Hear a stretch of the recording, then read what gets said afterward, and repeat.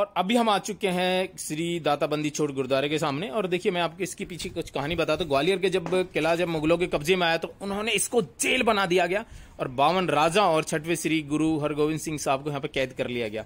और कैद करने के बाद जब उनको किसी फकीर ने बोला कि इनको आप छोड़ दिए जाए तो उसके बाद उनको छोड़ा गया और इसके अंदर मैं दिखाता हूँ, सौ किलो सोने का इस्तेमाल करके गुरुद्वारे में दरबार बनाया गया, वो आपको दिखाता हूँ। आपको लेके चलता हूँ गुरुद्वारे में और लंगर में और इसकी जो स्थापना उन्नीस सौ अड़सठ में संत बाबा अमर सिंह जी ने गुरुद्वारे की स्थापना की।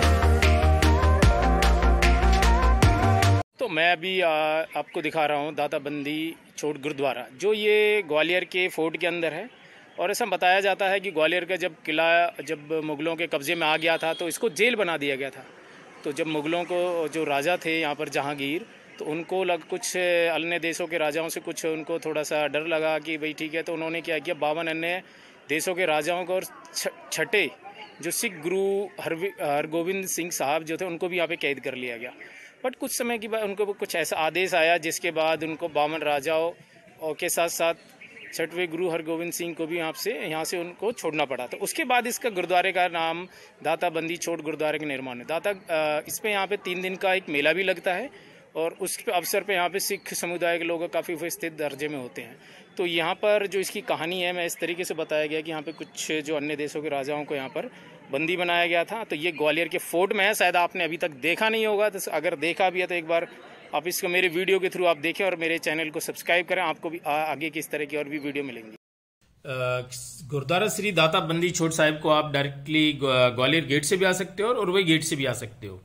उर्वई गेट से आप गाड़ी से भी आ सकते हो, पैदल भी आ सकते हो और ग्वालियर गेट से आप डायरेक्टली आप पैदल ही आ पाएँगे। और ये जस्ट थोड़ा सा मानसिंह पैलेस के साइड में है और यहाँ पे कोई टिकट ऐसा नहीं है कि चीज़ें, और यहाँ पे आप दोपहर में लंगर भी आप खा सकते हैं। प्रसाद पा सकते हैं। उसके बाद आप यहाँ से जो भी इसके बारे में जो बताया जाता, बावन राजाओं को यहाँ पे जहांगीर ने ने बंदी बनाया था और छठवें सिख गुरु हरगोविंद सिंह, जब उनको छोड़ने के बाद यहाँ पे इसकी स्थापना की गई थी।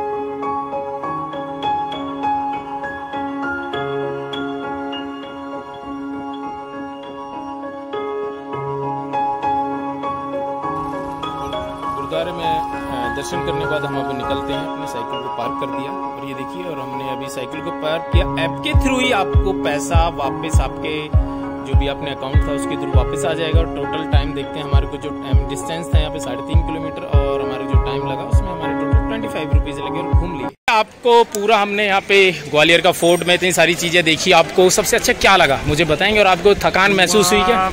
एक दिन के ट्रिप में मैं बोलूँ तो जैसे बहुत ज़्यादा चीज़ें कवर की है और आप लोगों ने जैसे मेरे को चीज़ें बताई है। आपके साथ मैंने वीडियोग्राफी करते करते काफ़ी चीज़ें कवर कर ली। एंड ऑल तो मैं बोलूँ तो काफ़ी अच्छा इंटरेस्टिंग रहा और सबसे ज़्यादा मुझे मज़ा आया है गुरुद्वारे में। गुरुद्वारे में जो भंडारा और जो शांति थी, वो नहीं है अभी क्योंकि संडेज के चलते आप देख रहे हैं कि आसपास काफ़ी भीड़ थी, जिसमें हमें शूट करने में भी प्रॉब्लम हो रहा था और लोग भी बहुत ज़्यादा संख्या में यहाँ पर है। इसमें देख रहा हूँ कि कोई भी मास्क वगैरह नहीं लगा रहा है तो काफ़ी अमेजिंग प्लेस रहा। और थैंक यू वेरी मच आप मुझे यहाँ